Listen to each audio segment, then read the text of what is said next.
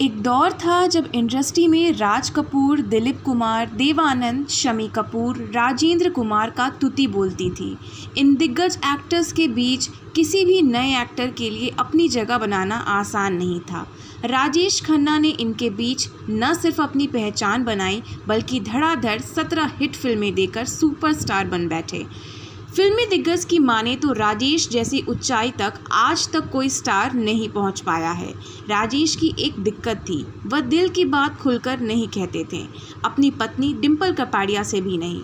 नमस्कार दोस्तों, हमारे चैनल में आप सभी का स्वागत है और आज के इस वीडियो में हम आपके साथ बॉलीवुड से जुड़े हुए बड़ी अपडेट शेयर करने वाले हैं। तो आज के इस वीडियो को आप सभी लोग लास्ट तक देखिएगा। वीडियो पसंद आती हो तो लाइक, शेयर, सब्सक्राइब ज़रूर करिएगा। तो दोस्तों, जिस तेज़ी से सफलता मिलती है, उसी तरीके से फिसलती भी है। कुदरत के इस करिश्मे को लोग समझ नहीं पाते, खास तौर पर जिनके हाथों में पावर होती है। किसी भी एक्टर को दर्शकों की दीवानगी ही फलक पर बैठाती है, वही गिराती भी है। एक दिन ऐसा ही हुआ जब राजेश खन्ना के फैंस उनसे मुँह मोड़ने लगे। फ़िल्में फ्लॉप होने लगी और इसका सीधा असर राजेश डिम्पल की शादीशुदा ज़िंदगी पर पड़ने लगी।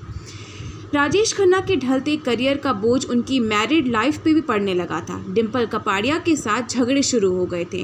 राजेश चूँकि सुपरस्टार थे, लिहाजा उनकी और डिम्पल की पर्सनल लाइफ खूब चटपटे अंदाज में फिल्मी मैगजीन में छापी जाती थी। एक बार तो ये तक छप गया था कि राजेश ने डिम्पल की पिटाई तक कर दी है। ऐसी खबरें पहले से उलझी हुई थी और रिश्तों पर और ज़्यादा दबाव डालने लगी थी। जब लड़ाई झगड़े बढ़ गए और राजेश खन्ना कभी खुलकर डिम्पल से बात नहीं किया करते थे, अपने डगमगाते करियर को लेकर झेल रहे तनाव में कभी पत्नी को हिस्सेदार नहीं बनाया। खुद ही घुटते रहें और सिगरेट फूकते रहें। राजेश के बर्ताव से तंग आकर डिम्पल ने आशीर्वाद, राजेश डिम्पल का जो घर था, उसे छोड़ दिया और अपने पिता के घर चली गई। कुछ कम ही उम्र में नासमझी थी और डिम्पल तो गुब्बार इंटरव्यू भी निकाल दिया करती थी। लेकिन काका कभी भी कुछ भी नहीं कहते थे। डिम्पल कपाड़िया ने एक इंटरव्यू में ऐसा बताया था कि मैंने पापा के घर जाने की गलती कर दी थी। मैंने जाते वक्त ये नहीं सोचा कि मेरे लिए वह आखिरी जगह है।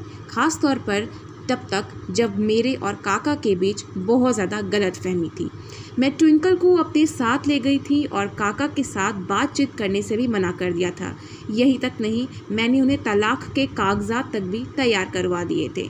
लड़ाई झगड़ों के बीच कयास लगाए जाने लगे थे कि डिम्पल फ़िल्मों में वापसी करना चाहती हैं। यही दोनों के बीच झगड़े की वजह है। डिम्पल अपने पिता के घर थी और राजेश एक महीने की आउटडोर शूटिंग के लिए कश्मीर चले गए।